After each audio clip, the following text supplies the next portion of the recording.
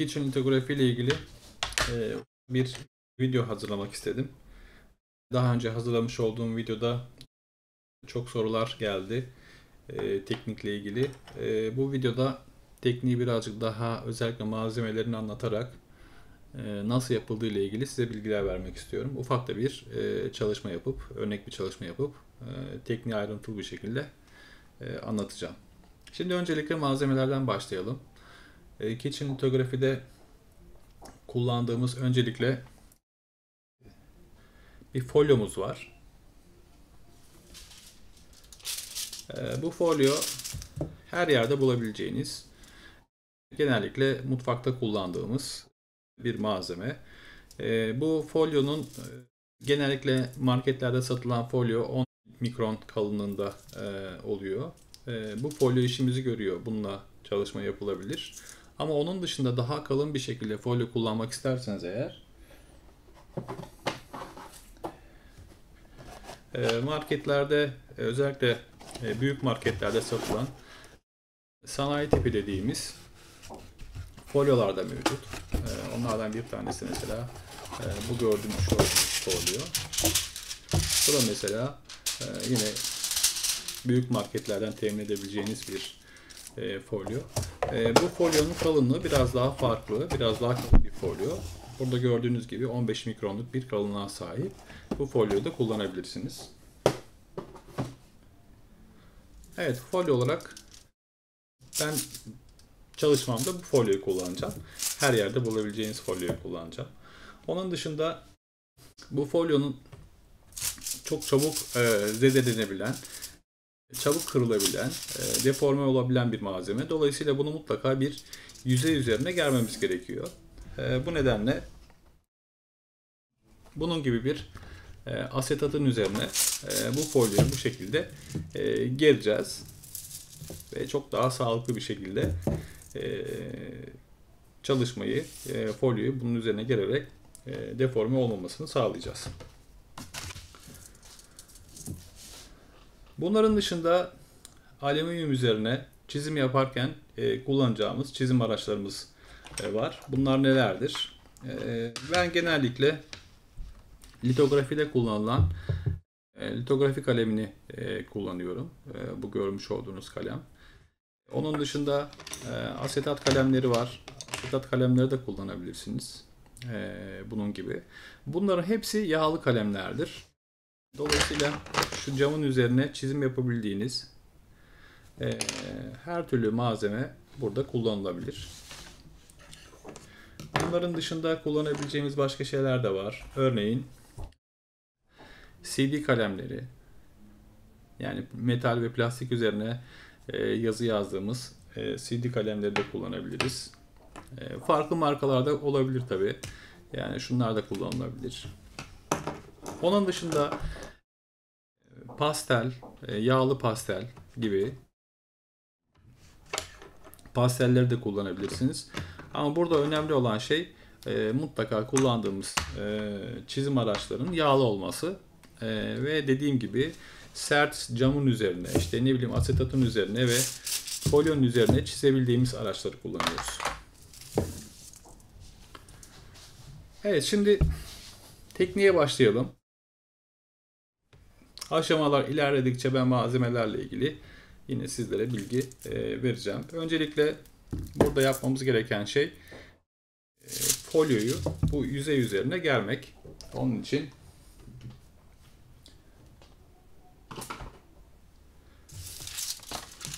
folyomuzu mutlaka e, temiz bir alanda germemiz gerekiyor.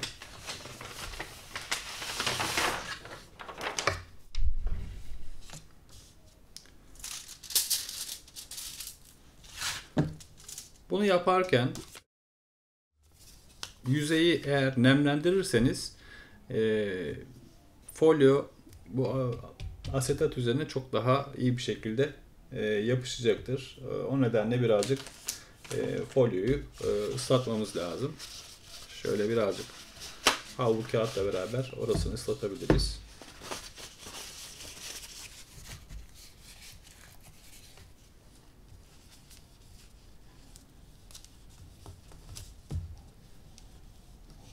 Şöyle birazcık ıslattık. Bir diğer önemli konu e, ellerimizle kesinlikle folyoya dokunmuyoruz. Yani şu çizim çizim yapacağımız yüzeye kesinlikle parmaklarımıza dokunmuyoruz. Çünkü e, elimizin üzerindeki bu yağlı tabaka buraya geçtiğinde e, o kısımlarda çalışmada çıkıyor. Bu nedenle e, bu kısmın kesinlikle temiz olması lazım ve şöyle bir burasını gerelim. E, bunu yaptıktan sonra e, şuradan kesim yapabiliriz.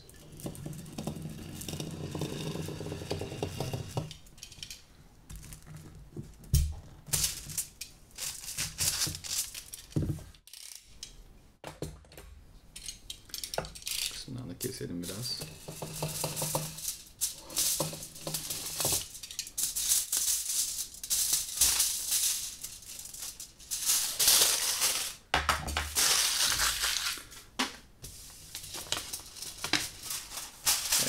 Şimdi bunu e, daha iyi bir şekilde gelmek için e, kullandığımız kuru bir bezle şu kısımları birazcık daha bu şekilde bastıracağız.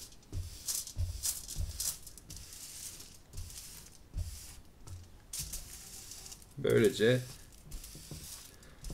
folyomuz çok daha gergin bir şekilde yüzey üzerine dağılmış olacak. Ee, bunu şimdi ters çevireceğiz. Dediğim gibi kesinlikle buraya parmaklarımıza dokunmuyoruz. Şöyle ters çeviriyoruz. Oralarını güzelce katlayıp bantlayacağız.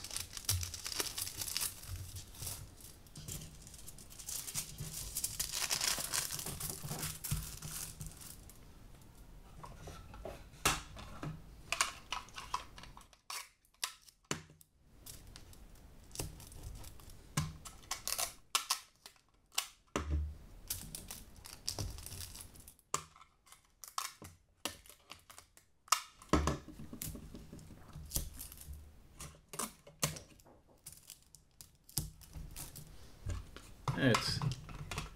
Katladık. Şimdi bunu kolanın içerisine atacağımız için e, kola şu kısımlardan içeri giriyor. O kolayı tahliye etmek için şuradan şöyle bir alanı hafif de olsa böyle bir delik açıyoruz buradan. E, bu kısımdan e, su ve kola kısmı oradan geçmiş olacak. Şu anda yüzeyimiz e, çizim için hazır.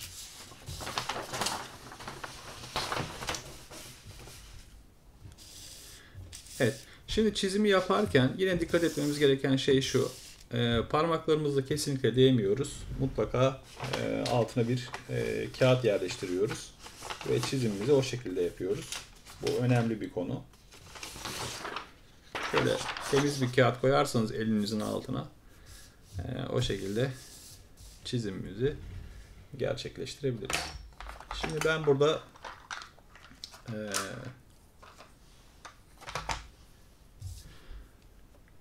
litografi kalemi kullanacağım. Litografi kalemiyle yapacağım çizimimi.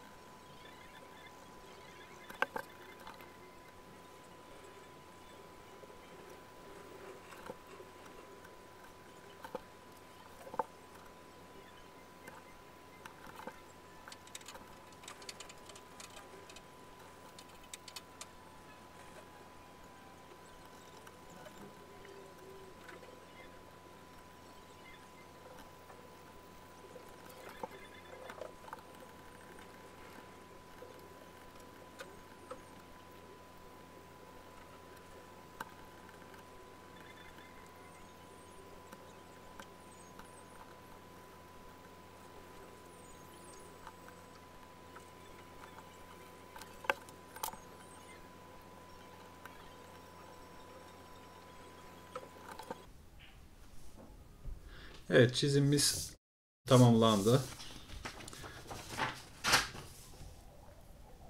Şimdi bundan sonraki aşamada yapacağımız şey e, alüminyum folyomuzu e, kolanın içerisine atmak.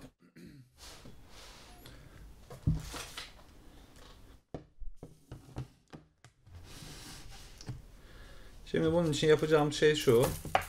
E, bunu bir küvetin içerisine atıyoruz bu şekilde. Sonrasında e, içerisine kolayı atacağız.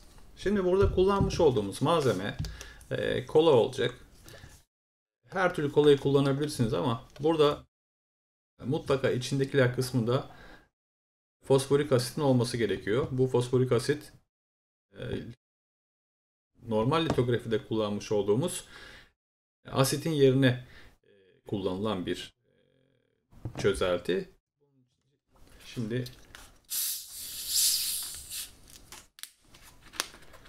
kolayı üstüne dökeceğiz. Ee, çok fazla beklemenize gerek yok. 15-20 saniye beklemesi e, bizim için yeterli.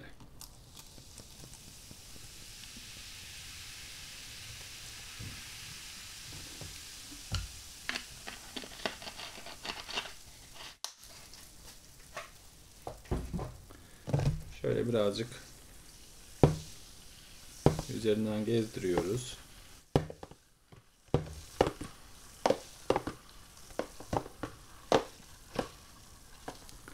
Evet bu bizim için yeterli. Şimdi bunu mutlaka durulamamız gerekiyor.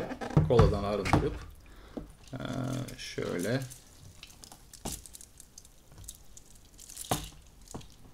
şuradan aldık.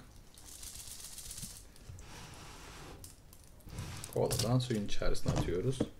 Şimdi burada suyun içerisinde de bunun güzelce koladan ve sudan arındırmamız gerekiyor.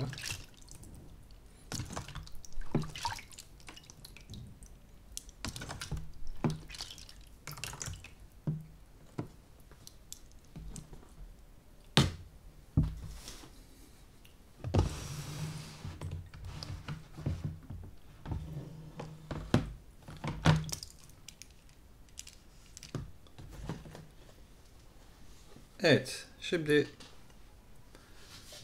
güzelce durladık. Bunu sudan çıkardık. Şimdi üzerindeki e, suyu birazcık şöyle havlu kağıdımızla kuruluyoruz.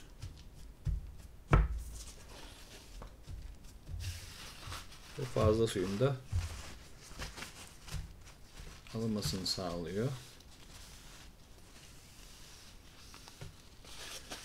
Evet. Şimdi bu aşamada buradaki çizimin e, buradan e, silinmesi gerekiyor. Şimdi bu işlemi yaparken kullandığımız e, çözelti e, bitkisel yağ. Yani bizim e, normalde mutfakta kullanmış olduğumuz bir bitkisel yağ. Bu bitkisel yağ sayesinde buradaki çizim buradan e, silinecek. Şöyle birazcık döküyoruz.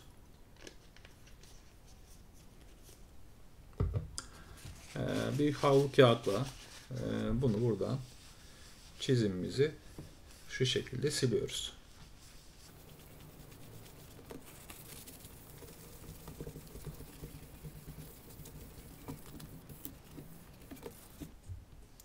Eğer iyi silinmediyse tekrar yağ döküp silmeye devam edebilirsiniz.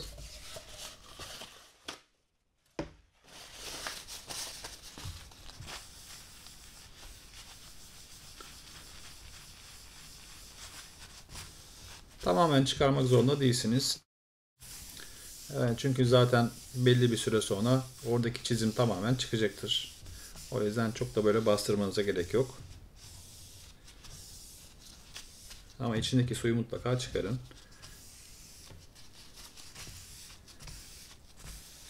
Evet.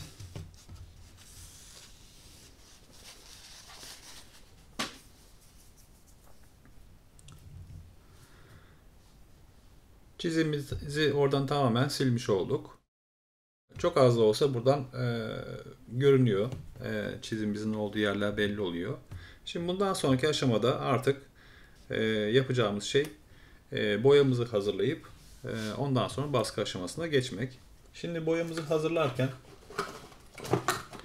e, biraz şöyle kenara çekelim bunu. Şurasını temizleyelim.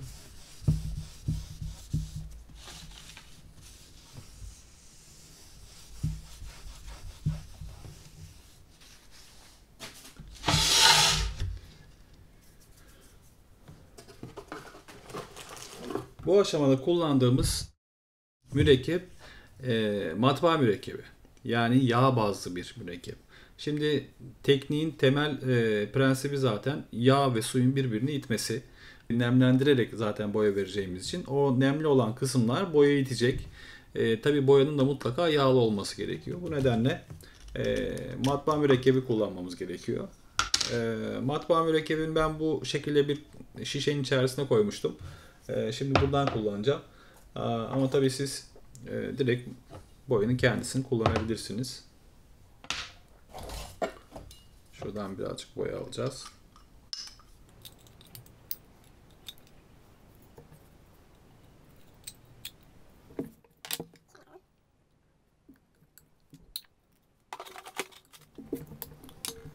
Şimdi bu aşamada e, normalde mat- matbaa mürekkebi e, direkt olarak kullandığımız zaman üzerine yapışıyor. Bu yapışkanlığını ortadan kaldırmak için e, mutlaka e, içine pudra katmamız gerekiyor.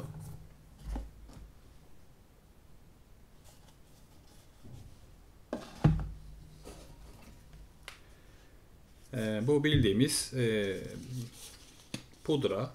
Şöyle de birazcık döküyoruz. Şimdi bu pudrayı boya ile birlikte karıştıracağız. Şurada görüyorsunuz talk pudrası. E, bunu kullanacağız. Bu aşamada yavaş bir şekilde karıştırıyorum boyayı.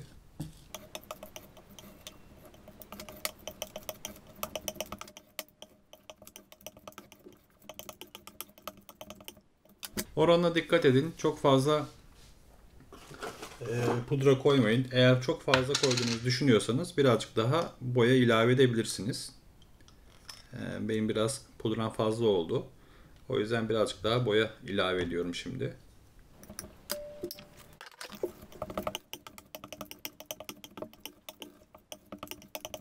Bu şekilde ezmeniz çok önemli. Mutlaka iyi bir şekilde karıştırmamız gerekiyor. Evet. Şimdi boyamız hazır.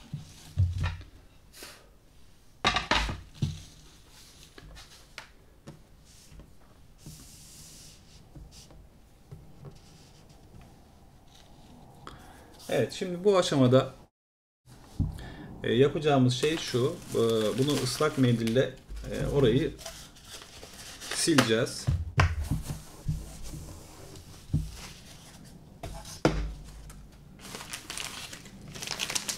Bildiğimiz ıslak mendil. E, ıslak mendille şuradan alıp yüzey üzerini temizleyeceğiz. Şöyle.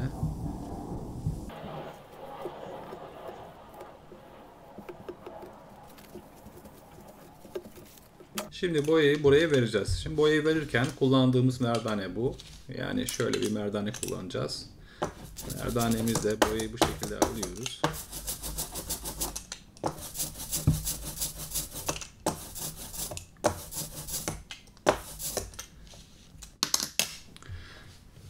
Şimdi tekniğin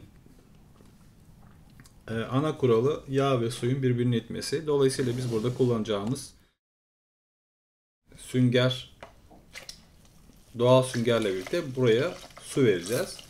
Bu e, suyun e, içme suyu olmasına dikkat edin.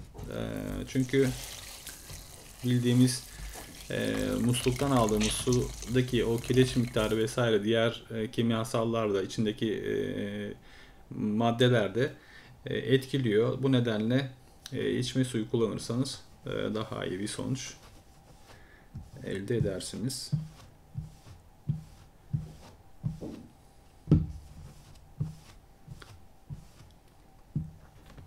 Şimdi ıslak mendille bu kısımlara birazcık boya vereceğiz.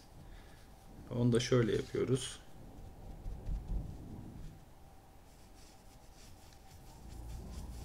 Şöyle üzerine ıslak mendille e, birazcık boya veriyorum. Islak mendilin içerisindeki e, o boyalar e, bu çizmiş olduğumuz yüzeyler üzerine dağılmış oluyor.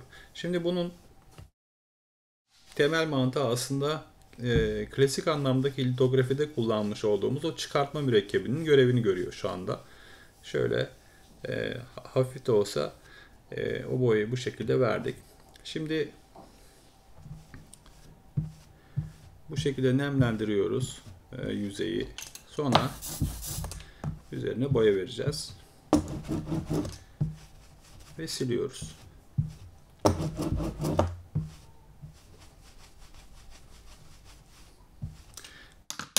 Zaman zaman istemediğimiz yerlerde bu şekilde boya olabilir. E, endişelenmeyin. E, tekrar ıslak mendille o kısımları silerek boya vermeye devam edebilirsiniz. Bu birkaç aşamada bu şekilde sürecektir. E, çünkü o kısımlar tam olarak hala e, e, çizmiş olduğumuz alanın dışındaki alanlar hala boya aldığı için e, bu sorun meydana geliyor.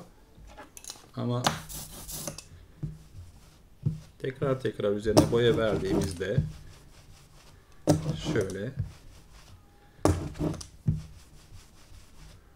o alanlarda zamanla e, boya almamaya başlıyor.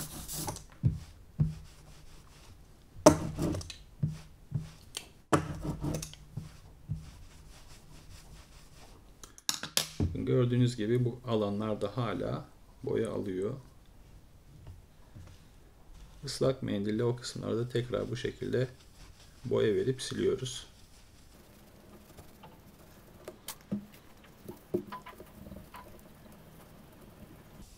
Gördüğünüz gibi artık çizimiz, e, çizmiş olduğumuz alanlar daha net bir şekilde görünüyor. Birkaç defa boya vererek baskıya geçmeden önce bu şekilde o alanların tam olarak e, belli olması gerekiyor.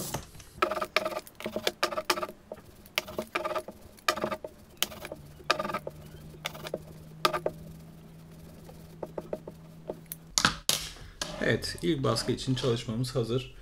Ee, burada şunu yapabilirsiniz. Ee, istemediğimiz yerlere eğer boya geldiyse e, o kısımları e, ıslak mendille bu şekilde temizleyebilirsiniz isterseniz. Şöyle.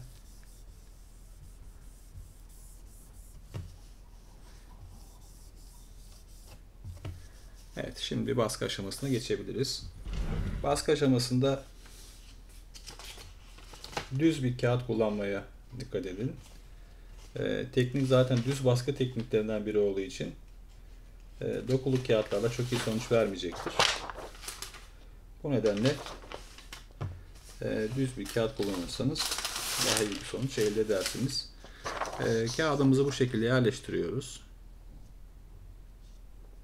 Sonrasında bu e, pişirme kağıdı olarak geçiyor, yağlı kağıt olarak geçiyor. E, bu kağıtlardan koyarsınız üzerine bu şekilde. E, üzerine basınç yaparken e, çok daha kaygan olacaktır ve daha rahat bir şekilde basınç yapabilirsiniz. Sonrasında bu şekilde üzerine basınç yapıyoruz.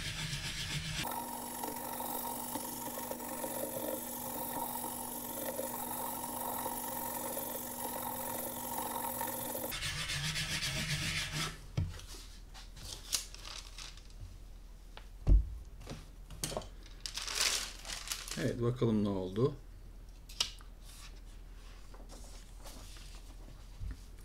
Evet ilk aşamada gördüğünüz gibi çok iyi çıkmadı.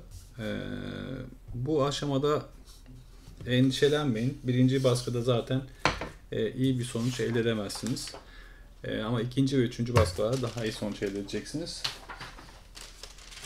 Şimdi boya vermeye devam edelim.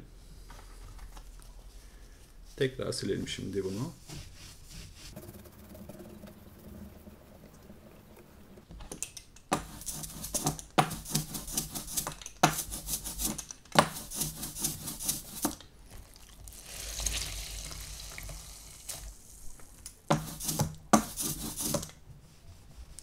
her zaman mutlaka su verin çalışmaya. Susuz bırakmayın kesinlikle.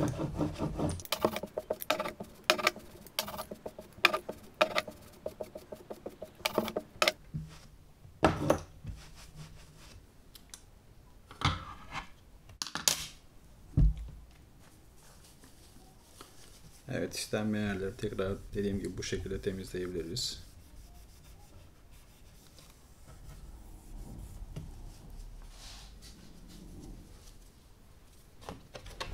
Baskıdan önce şöyle kurutabilirsiniz biraz. Çalışma kurur.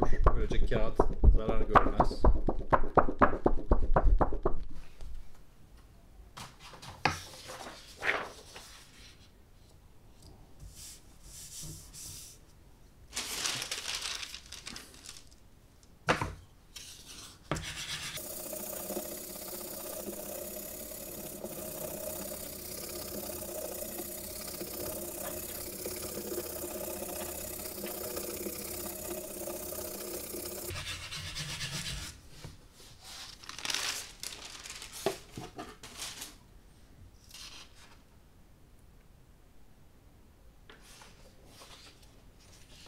Evet.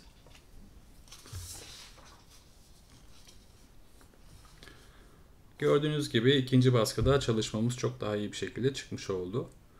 Ee, bu baskı sayıları arttıkça e, çok daha iyi bir sonuç elde edeceğinizi göreceksiniz. E, bu ikinci baskıda çok daha iyi bir e, sonuç elde etmiş olduk.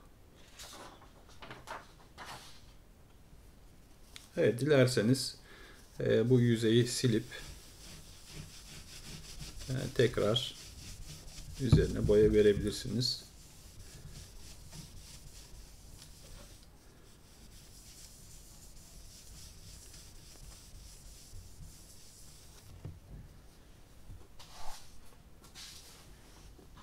Aynı şekilde yine süngerimizle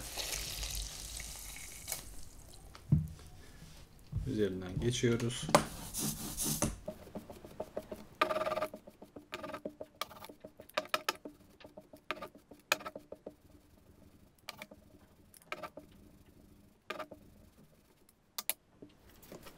Evet bu aşamada yine baskı aşamasına geçebiliriz artık.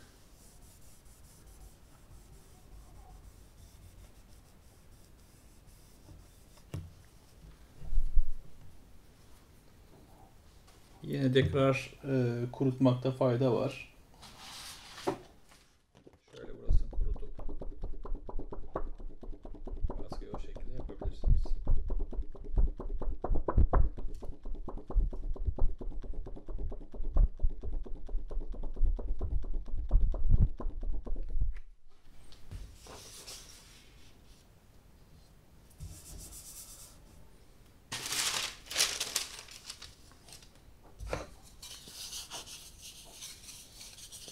Bunun yerine kaşık da kullanabilirsiniz. Bildiğimiz tahta kaşıklarla da yapabilirsiniz.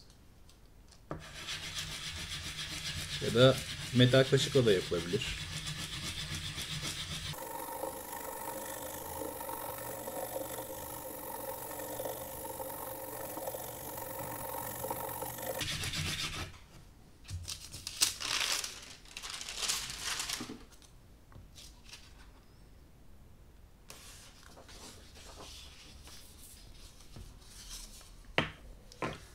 Evet gördüğünüz gibi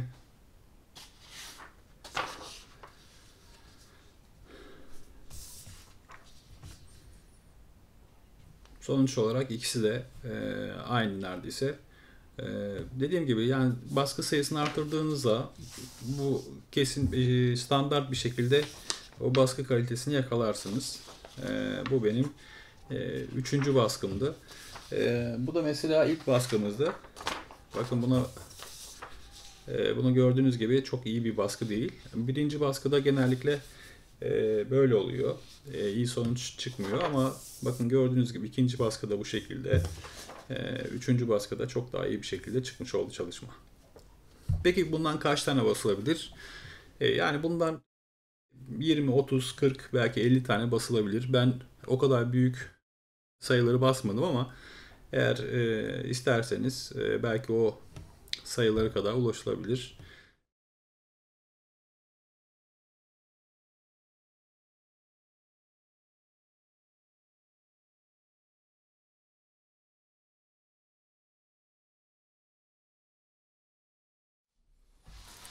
Evet, bir dahaki videoda renkli bir kitchen litografi nasıl yapılır? Onunla ilgili bir video çekeceğim. Hoşçakalın.